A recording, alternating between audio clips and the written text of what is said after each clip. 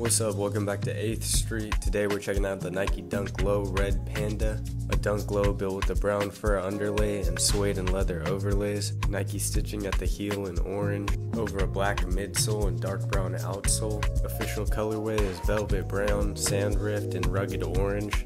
Dunk Low Red Pandas are releasing October 27th, retail is 125